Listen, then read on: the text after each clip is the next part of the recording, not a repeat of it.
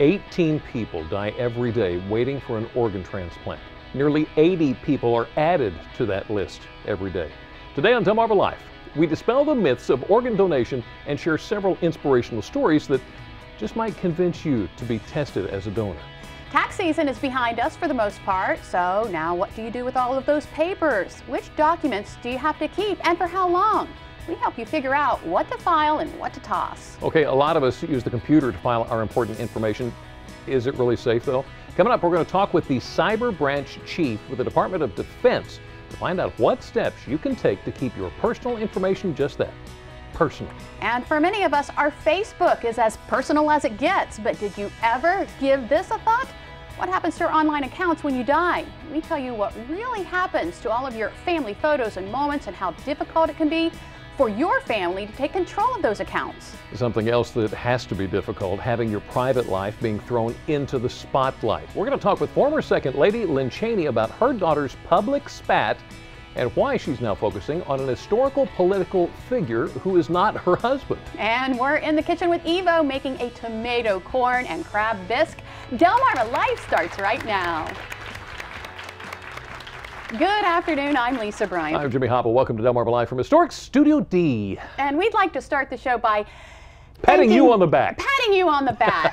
the viewers because you, you know again. we you we had Lieutenant Tim Robinson on the show the other day and he told us that Constance Marine, who we featured on our Most Wanted Monday this week, walked into the Wicomico County Sheriff's Office this morning and surrendered herself. Get this. she told the deputy who handled the arrest that it was because she saw herself on TV. So I guess we need to thank Constance for watching Delmarva for watching Live. Delmarva Live. Thank you too for yeah, participating in Monday's Most Wanted because that's what makes it work. Absolutely. Did you happen to hear about this flying bounce house in upstate New York? I did. Absolutely incredible. Terrifying. Take a close look at this picture snapped by a lady who was actually there when it happened. You see that little speck up there in the oh clouds? My goodness. That is the bounce house that was picked up by a gust of wind and flew up to 50 feet into the air over an apartment building in a line of trees. That's not the big part of the story. The big part of the story is there were three children in it when it was initially picked up. A 10 year old girl who fell out, she's got some minor injuries. Um, the thing got up to like 15 feet in the air before the two boys were dumped out a five year old and a six year old. Oh one of goodness. them hit a car, one of them hit the asphalt. They're in pretty bad shape this afternoon. So we hope to find out more about that. The bounce house was staked down the way it should have been.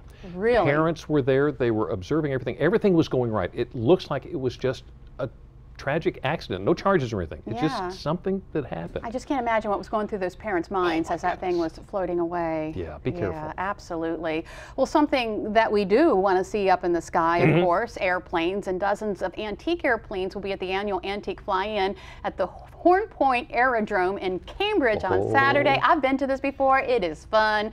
Well over 200 aircraft will be on display and in competition for antique aircraft, classic aircraft, and Jimmy's favorite, military aircraft, contemporary aircraft, custom aircraft, custom built aircraft, and special awards. Jimmy, you going to be there? Try to hold me back. Go okay, ahead. Okay, well, here's the event information. It runs from 7 a.m. to 4 p.m., and the rain date, by the way, is on Sunday. If you'd like some more information, call Mike Strider at 301 440 5294. It'll be a gorgeous weekend, though, so no problem. You know, we love to pat people on the back when they do a great job.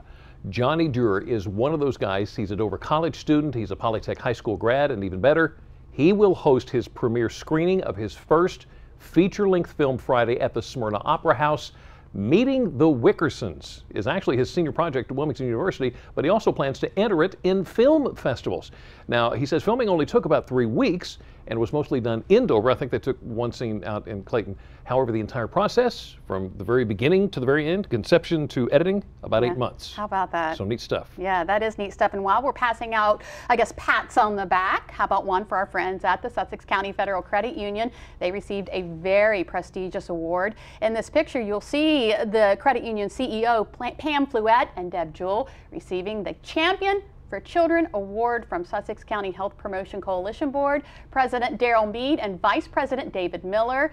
The Sussex County Federal Credit Union and its charitable foundation were recognized for their positive impact on hundreds of children in Sussex County. What a great bunch. Mm -hmm. Just like them a lot. Um, do you like animals? Are you an animal lover? We need you. Here's why. The Maryland Department of Public Safety and Correctional Services is looking for local families to volunteer as weekend hosts for puppies in training. Here's the deal the puppies are actually service dogs for disabled military veterans.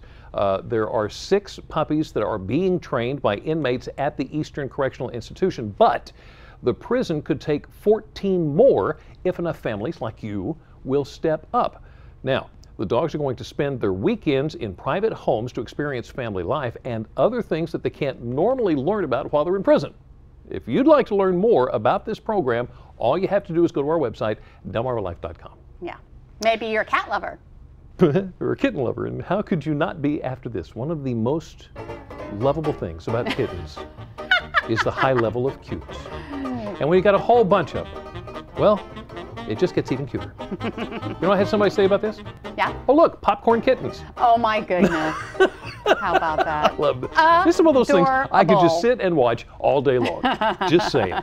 Well, still ahead on Delmarva Life, we speak with Lynne Cheney, the former Second Lady of the United States. Find out how she's been keeping busy now that her husband is out of office. Plus, Ms. Cheney weighs in on what it's like living in the public eye, including when family spats make headlines. It's probably something you've never thought of, but do you know what would happen to your online accounts in the event of your death? Well, think about this. A lot of us do a lot of things, maybe everything online. Just wait till you hear what happens in a lot of cases and what's being done to change it. From personal accounts to personal documents, you probably have plenty of paperwork left over now that tax season is in the books. From receipts to pay stubs, we'll learn what documents to toss in your files and which to toss in the trash. Organ donation.